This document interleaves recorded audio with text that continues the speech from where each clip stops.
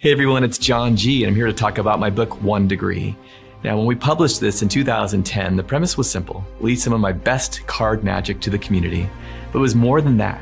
It was about integrating this one degree philosophy where small, incremental microshifts have a huge impact, not just to make our magic stronger, but to strengthen our connection with the audience and many other things in between.